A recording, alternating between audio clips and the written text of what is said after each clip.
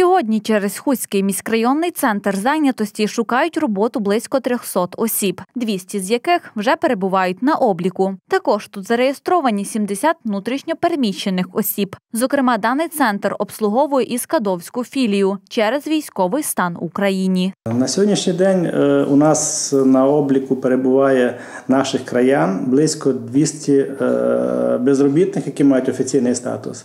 Е, Крім того, завдяки програмі Дія до нас стають на облік всі, хто бажає стати, е, ті, хто не проживає тут.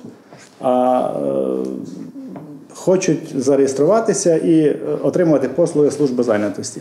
Це десь близько 70, 70 чоловік, такі більше всього їх є із Кадовська, Херсонська область.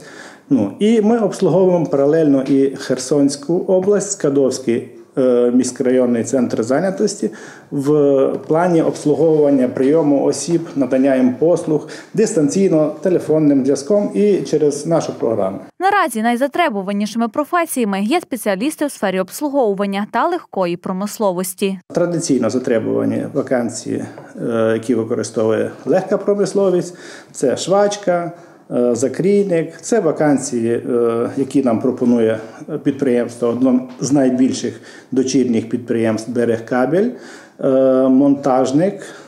е, кабеля.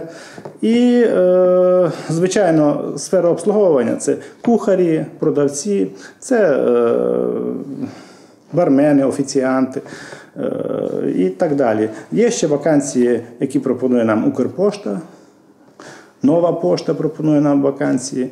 Пропонують вакансії е, дистанція колії, монтер колії, економіст. Є вакансії лаборанта е, в нашій, нашій петрофільській фабриці. Ну і постійно йде рух вакансій. Внутрішньопереміщені особи також звертаються до центру у пошуках працевлаштування, зазвичай по спеціальностях чи посадах, на яких перебували на минулому місці роботи. Деяким вже вдалося працевлаштуватися, розповідає Володимир Гуц. Дуже багато звертається внутрішньо переміщених осіб.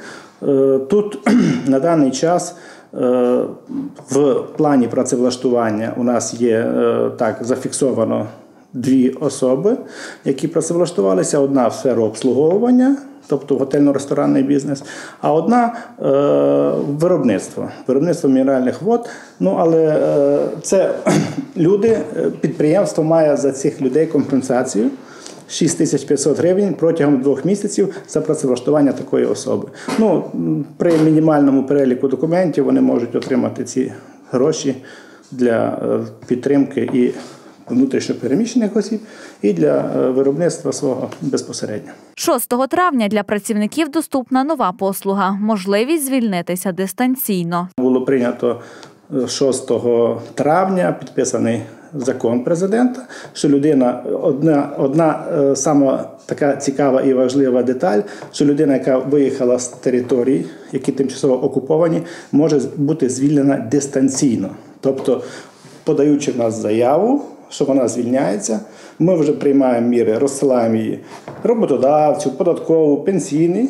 І на другий день ми реєструємо людину як звільнившуся з роботи. Виплати для тимчасово безробітних зберігаються. Вони становлять від тисячі до 10 тисяч гривень, в залежності від стажу та кваліфікації особи. Отримують тисячу гривень на місяць.